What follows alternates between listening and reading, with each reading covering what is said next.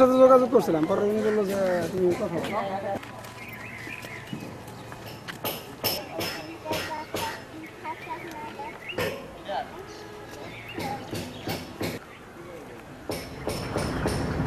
এই যে ফ্যাক্টরিটা এটা উনি গেছেন গা আপনি বুঝলাম না তো।